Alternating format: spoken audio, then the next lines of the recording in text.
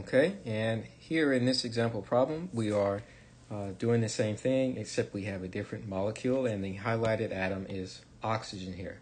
How many sigma bonds does a highlighted atom participate? Well, this highlighted atom, oxygen, only participates in two bonds, and they are both single bonds. So, in a single bond, that one bond of that single bond is considered a sigma bond.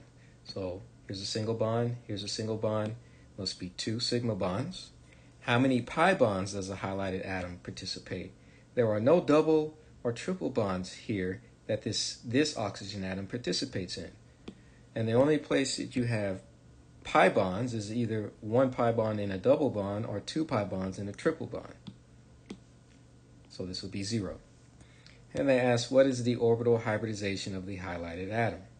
So if I look at this atom, and imagine it as my central atom, I just look at the atoms bonded directly to that oxygen atom.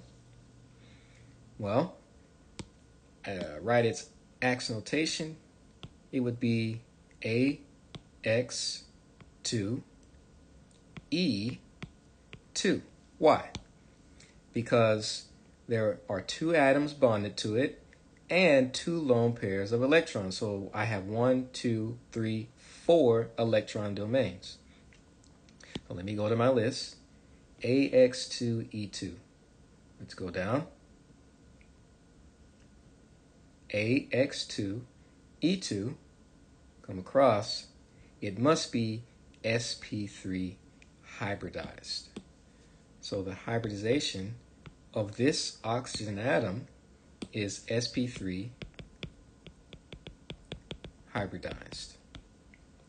And if I look here, I got one s orbital, three p orbitals hybridized together for a total of four orbitals, and I have four electron domains, so that makes sense. And again, this hybridization theory helps to explain the bond angles here of these electron domains. Okay, it only works uh, when we consider hybridization theory. So it, it helps to, to, to help our model make a little bit more sense.